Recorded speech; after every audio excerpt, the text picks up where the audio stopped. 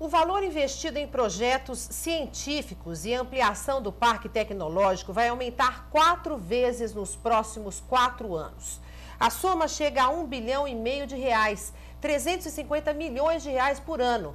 Para falar sobre esse aumento dos investimentos, a repórter Priscila Machado está ao vivo com o secretário de Ciência, Tecnologia e Insumos Estratégicos. Boa noite, Priscila. Priscila, como vão ser definidas as áreas que receberão esses recursos, esses investimentos? Boa noite, Débora. O Ministério da Saúde realizou um mapeamento para definir quais são as áreas prioritárias para a pesquisa. Quem explica para a gente é Carlos Gadelha, secretário de Ciência, Tecnologia e Insumos Estratégicos. Explica quais são as áreas com maior necessidade em pesquisa na área de saúde no Brasil. Olha, as áreas são aquelas relacionadas à necessidade, ao que a população está precisando de produtos, medicamentos, de atenção.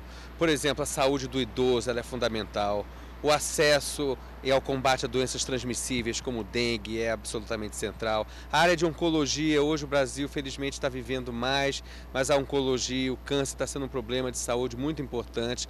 Então as áreas prioritárias são aquelas que são indicadas pelas próprias condições de saúde da população.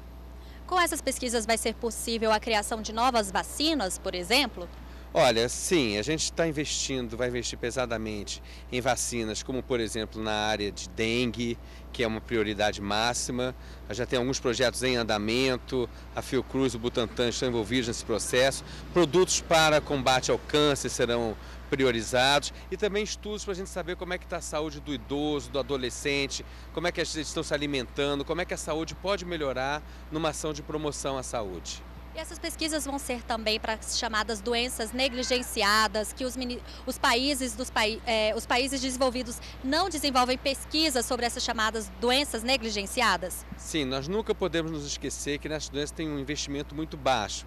Então a gente tem o compromisso de continuar investindo em ranceníase, em malária, por exemplo, que é um problema sério, em doença de chagas. Todas essas doenças ainda têm uma possibilidade grande de serem beneficiadas pelo esforço de pesquisa. E a gente não pode deixar que apenas o interesse econômico deixe que elas sejam negligenciadas. E as pesquisas vão ser feitas apenas pelos órgãos públicos do Ministério da Saúde ou também vão ser lançados editais para outras instituições? Não, serão lançados editais. Hoje o Ministério já trabalha com 580 instituições e a ideia é que quanto mais a gente trabalhar em rede, com instituições cooperando, melhor.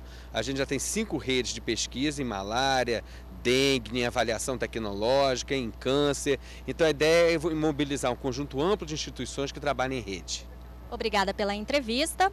Lembrando que o investimento do Ministério da Saúde em pesquisa e desenvolvimento tecnológico de produtos em saúde será de 350 milhões de reais ao ano.